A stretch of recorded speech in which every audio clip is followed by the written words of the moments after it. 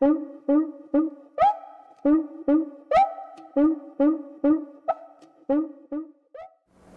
Orelha de Van Gogh, de Moacir Scliar. Estávamos, como de costume, à beira da ruína. Meu pai, dono de um pequeno armazém, devia a um de seus fornecedores importante quantia e não tinha como pagar. Mas se lhe faltava dinheiro, sobrava-lhe imaginação. Era um homem culto, inteligente, além de alegre. Não concluíra os estudos, o destino o confinara no modesto estabelecimento de secos e molhados, onde ele, entre paios e linguiças, resistia bravamente aos embates da existência. Os fregueses gostavam dele, entre outras razões, porque vendia fiado e não cobrava nunca. Com os fornecedores, porém, a situação era diferente. Esses enérgicos senhores queriam seu dinheiro o homem a quem meu pai devia no momento era conhecido como um credor particularmente implacável. Outro se desesperaria, outro pensaria em fugir, em se suicidar até. Não meu pai. Otimista como sempre, estava certo de que daria um jeito. Esse homem deve ter seu ponto fraco, dizia, e por aí o pegamos. Perguntando daqui e dali, descobriu algo promissor.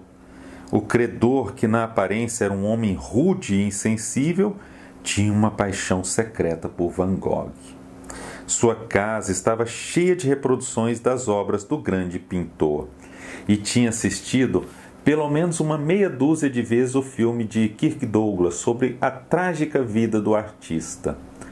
Meu pai retirou na biblioteca um livro sobre Van Gogh e passou o fim de semana mergulhado na leitura. Ao cair da tarde de domingo, a porta de seu quarto se abriu e ele surgiu triunfante. Achei! Levou-me para um canto. Eu, aos doze anos, era seu confidente e cúmplice, e sussurrou os olhos brilhando. A orelha de Van Gogh, a orelha nos salvará. O que é que vocês estão cochichando aí? perguntou minha mãe que tinha escassa tolerância para com o que chamava de maluquices do marido. Nada, nada, respondeu meu pai, e para mim, baixinho, depois te explico.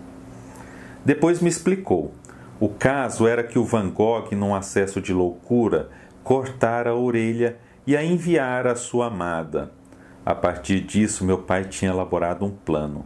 Procuraria o credor e diria que recebera como herança de seu bisavô amante da mulher por quem Van Gogh se apaixonara, a orelha mumificada do pintor. Ofereceria tal relíquia em troca do perdão da dívida e de um crédito adicional. Que dizes? Minha mãe tinha razão. Ele vivia em um outro mundo, um mundo de ilusões. Contudo, o fato de a ideia ser absurda não me parecia o maior problema, afinal, a nossa situação era tão difícil que qualquer coisa deveria ser tentada. A questão, contudo, era outra. E a orelha? A orelha? Olhou-me espantado, como se aquilo não lhe tivesse ocorrido. Sim, eu disse, a orelha do Van Gogh.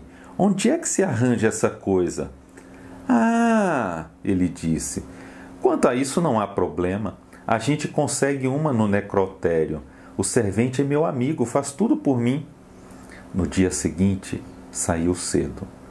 Voltou ao meio-dia, radiante, trazendo consigo um embrulho que desenrolou cuidadosamente. Era um frasco com formol, contendo uma coisa escura, de formato indefinido. A orelha de Van Gogh, anunciou triunfante. E quem diria que não era? mas por via das dúvidas ele colocou no vidro um rótulo: Van Gogh, orelha. À tarde fomos à casa do credor. Esperei fora enquanto meu pai entrava. Cinco minutos depois voltou desconcertado, furioso mesmo. O homem não apenas recusara a proposta, como arrebatar o frasco de meu pai e o jogara pela janela. Falta de respeito. Tive de concordar embora tal desfecho me parecesse até certo ponto inevitável. Fomos caminhando pela rua tranquila, meu pai resmungando sempre: falta de respeito, falta de respeito. De repente parou, olhou-me fixo. Era a direita ou a esquerda? O quê? Perguntei sem entender. A orelha que o Van Gogh cortou era a direita ou a esquerda? Não sei, eu disse, já irritado com aquela história. Foi você quem leu o livro, você é quem deve saber. Mas não sei, disse ele desconsolado. Confesso que não sei. Ficamos um instante em silêncio. Uma dúvida me assaltou naquele momento, uma dúvida que eu não ousava formular, porque sabia que a resposta poderia ser o fim da minha infância. Mas. E a do vidro? Perguntei. Era a direita ou a esquerda? Mirou-me aparvalhado. Sabe que não sei? murmurou numa voz fraca, rouca. Não sei. E prosseguimos rumo à nossa casa. Se a gente olhar bem uma orelha, qualquer orelha, seja ela de Van Gogh ou não, verá que seu desenho se assemelha ao de um labirinto.